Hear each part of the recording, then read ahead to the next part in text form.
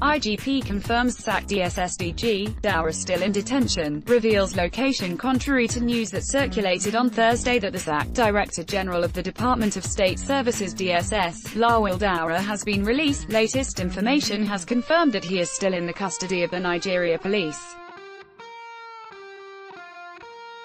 The Inspector General of Police, Ibrahim Idris, made this known in a report on Tuesday's siege at the National Assembly.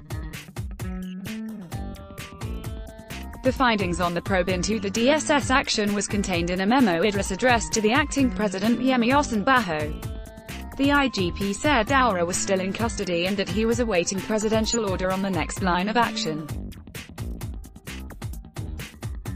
He wrote, there is need to search the houses and premises of all identified suspects. All communication gadgets such as computers, mobile phones and other electronics devices of the suspects will be thoroughly analyzed.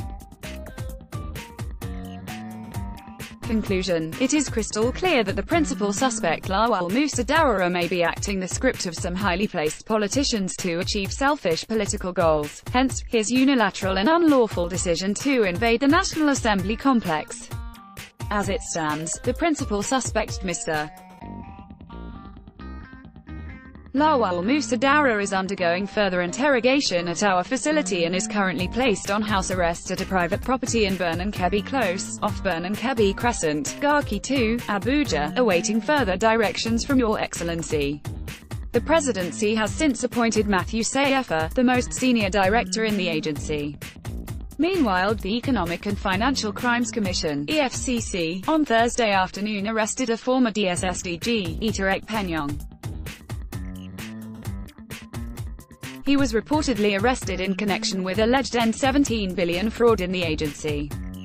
The arrest was said to be part of ongoing probe of the sacked DG. It was gathered that two ex-DSS chiefs could not account for the cash in the last three years. Yesterday, operatives raided Ekpenyong's house located in Asokoro, Abuja.